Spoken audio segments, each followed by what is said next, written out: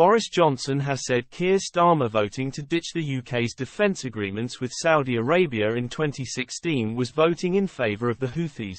Boris Johnson has blamed Sir Keir Starmer for the Houthi rebellion in Yemen due to a controversial vote. Johnson says Starmer voting to ditch the UK's defence agreements with Saudi Arabia in 2016 was voting in favour of the Houthis who want to cause maximum maritime havoc and damage to the UK economy. The former Prime Minister said in his column for Mail Online that Houthi attacks on shipping could cause incalculable damage to the world economy adding that a long diversion for cargo ships around the Cape of Good Hope in South Africa could eventually end up costing Brits due to higher costs. When the Houthis launched a successful coup against the Yemeni president in 2014, Saudi Arabia formed a coalition of nine Arab states to restore the government.